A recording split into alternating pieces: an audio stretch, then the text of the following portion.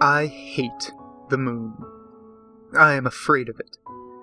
For when it shines on certain scenes familiar and loved, it sometimes makes them unfamiliar and hideous. It was in the spectral summer when the moon shone down on the old garden where I wandered, the spectral summer of narcotic flowers and humid seas of foliage that bring wild and many-colored dreams. And as I walked by the shallow crystal stream, I saw unwanted ripples tipped with yellow light, as if those placid waters were drawn on in resistless currents to strange oceans that are not in the world.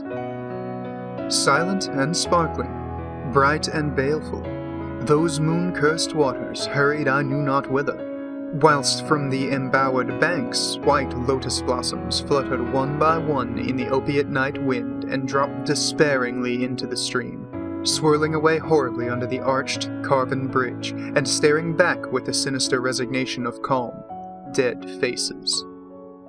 And as I ran along the shore, crushing sleeping flowers with heedless feet and maddened ever by the fear of unknown things and the lure of the dead faces, I saw that the garden had no end under that moon.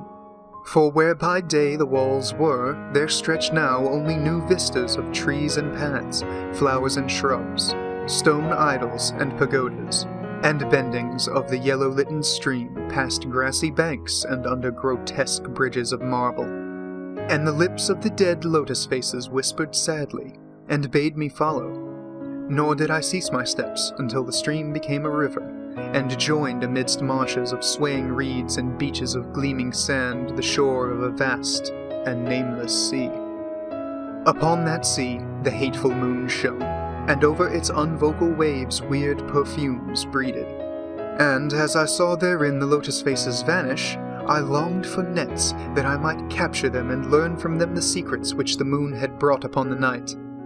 But when that moon went over to the west, and the still tide ebbed from the sullen shore, I saw in that light old spires that the waves almost uncovered, and white columns gay with festoons of green seaweed.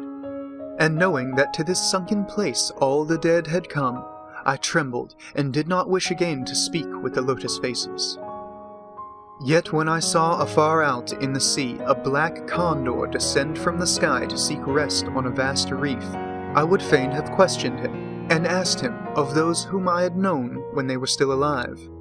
This I would have asked him had he not been so far away, but he was very far, and could not be seen at all when he drew nigh that gigantic reef.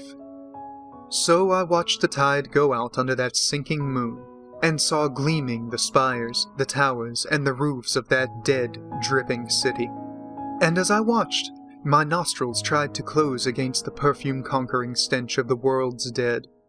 For truly, in this unplaced and forgotten spot had all the flesh of the churchyards gathered for puffy sea worms to gnaw and glut upon. Over these horrors the evil moon now hung very low, but the puffy worms of the sea need no moon to feed by. And as I watched the ripples that told of the writhing of worms beneath, I felt a new chill from afar out whither the condor had flown, as if my flesh had caught a horror before my eyes had seen it.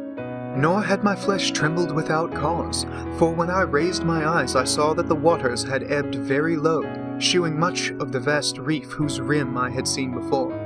And when I saw that the reef was but the black basalt crown of a shocking icon whose monstrous forehead now shone in the dim moonlight, and whose vile hooves must paw the hellish ooze miles below, I shrieked and shrieked lest the hidden face rise above the waters, and lest the hidden eyes look at me after the slinking away of that leering and treacherous yellow moon. And to escape this relentless thing, I plunged gladly and unhesitantly into the stinking shallows where amidst weedy walls and sunken streets, fat sea worms feast upon the world's dead.